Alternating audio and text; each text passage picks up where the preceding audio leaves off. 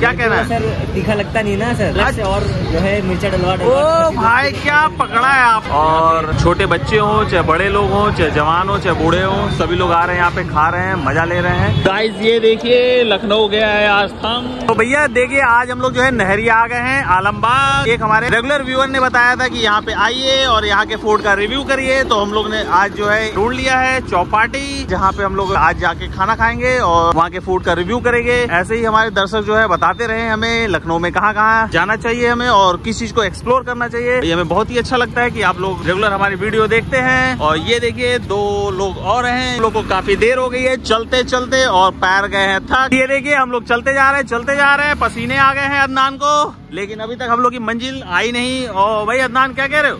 अरे सर पता नहीं कहाँ पहुँचा दिया। इतनी देर से चलते ही जा रहे हैं आ ही नहीं रहा अपोलो हॉस्पिटल आगे है हाँ? और उसके आगे हमारा चौपाटी। ओ भाई हनु बाबू भी पहली बार जा रहे भाई। तो गाइस इनके लिए तो कम से कम आप लोग लाइक वाइक तो कर ही दीजिए। वो देखिए दिख गई है चौपाटी और वहाँ पे करेंगे पार्टी अगर आप लोग को इस चौराहे का नाम पता है तो ज़रूर कमेंट बॉक्स में लिखिए हमें इंतज़ार रहेगा। और ये देखिए भैया फाइनली जो है हम लोग आ चुके हैं Chowpatty.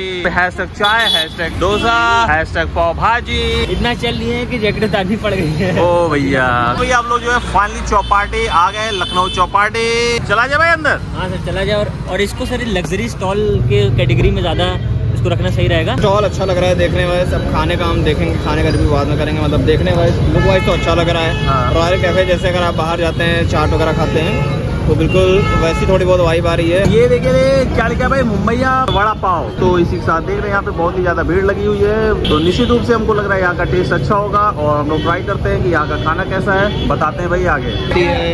छोले भटूरे हैं चाट पड़ी है समोसे हैं गोलगप्पे हैं गुलाब जामुन है। पानी बतासे हैं समोसा है हनु को समोसा दिख गया। और ये देखिए नीचे ये क्या है पता है? अगर आपको पता हो तो ज़रूर कमेंट बॉक्स में बताइए क्या है। इतनी ज़्यादा भीड़ है यहाँ पे हम लोग को बैठने के लिए जगह नहीं मिली हम लोग को इंतज़ार करना पड़ेगा। क्या ऑर्डर है भाई? तो वड़ा पाव, मसाला डोसा, एक स्पेशल डिश है, जो सीक्रेट है, हम लोग आप मंगा के फिर बताते हैं। वो यहाँ की फ़ेमस है। तो ये तीन चीज़ हम लोग बेसिकली मेन यहाँ पे फोकस करके मंगाने जा रहे हैं। हम लोग को जो है जगह मिल गई है। एक जो चीज़ है वो आपने छोड़ दी है वो समोसा बन। अरे सर आपसे मैंने बोला था नहीं बताइए के लिए अच्छा। अरे अरे अरे अरे भैया भैया भैया भैया भैया। बच्चों को लेके आए हैं क्योंकि आज बच्चा जो है अकेला है घर पे एग्ज़ाम भी आने वाले हैं तो इसलिए हम लोग ने सोचा भाई ये इसको वीडियो में लेते हैं इसका माइंड फ्रेश हो जाएगा ताकि पढ़ाई करेगा बात। और छोटे बच्चे हो चाहे बड़े लोग हो चाहे जवान हो चाहे बूढ़े हो सभी लोग आ रहे हैं यहाँ पे खा रहे हैं मज़ा ले रहे हैं। देख रहे हैं काफ़ी अच्छा है भाई यहाँ पे। इनका जो है आ गया मसाला डोसा। भाई खा के बताओ कैसा है? अक्षर जो है बहुत ही अच्छे तरीके से बताया कि पापा आपने जो है मेन्यू नहीं दिखाया तो हम ये देखिए मेन्यू दिखा दिए हैं। ये देखिए हमारे आगे भाई पाव भाजी हम लोग ने पाव भाजियाँ तो लखनऊ में बहुत खाई हैं और हम लोग देखना चाहेंगे कि इनकी पाव भाजी उस लेवल की है कि नहीं।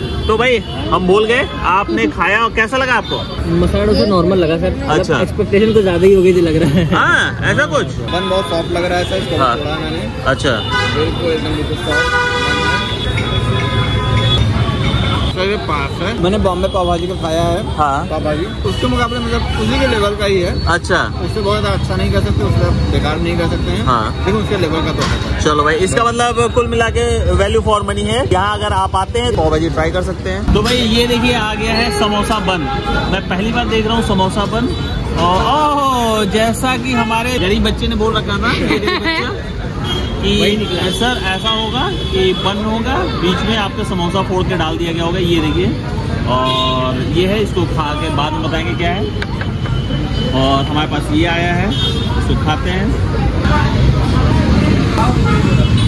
कुल मिला के मतलब टेस्ट अच्छा है। और ये ट्राई करते हैं हम क्योंकि अभी जो है हम लोग को शादी में जाना है। और बहुत ही वो इम्पोर्टेंट शादी है। शिरकत करना ज़रूरी है। ये कॉम्बिनेशन अच्छा लगा। अगर आप पाँच में से बोले पॉइंट हमको तो साढ़े चार देंगे भाई इस चीज़ को। भाई ये हमको प्रेजेंटेशन ही नहीं अच्छी लगी। देख रहे हैं मतलब कम से कम सांबर है क्या? वेजिटेबल्स होने चाहिए लेकिन पानी पानी है भाई। देख रहे हैं इसमें कुछ है ही नहीं वेजिटेबल्स अदनान खा गया सारे वेजिटेबल तुम खा गए थे क्या? वेजिटेबल्स हो गए नहीं खाए कुछ नहीं है सर। जैसा कि हमने बताया कि वेजिटेबल्स खाए नहीं अदनान ने भी बताया। और भाई खा के बता रहे कैसा है? बहुत ही वाहियात है। हमें अच्छा नहीं लगा ये। उसके मुकाबले आप कहें ये अच्छा है। पान समोसा खाइए वो ज़्यादा अच्छा है और चाय पीजिए और निकल लीजिए ठीक है? लो भैया तुम खाओ। ये जो समोसे के अंदर का आलू होता है ना हाँ। वो भी है।